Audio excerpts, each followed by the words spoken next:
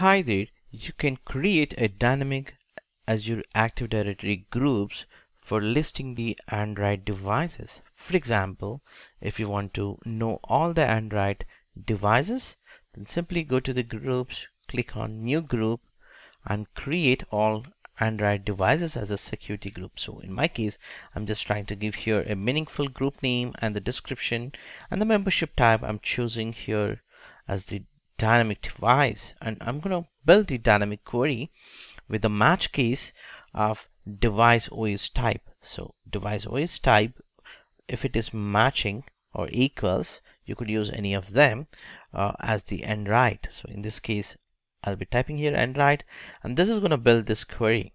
And you could also play uh, out of this query, for example, you could also like all Android devices with the company owned by adding an expression here with the ownership as a company or maybe personal owned devices.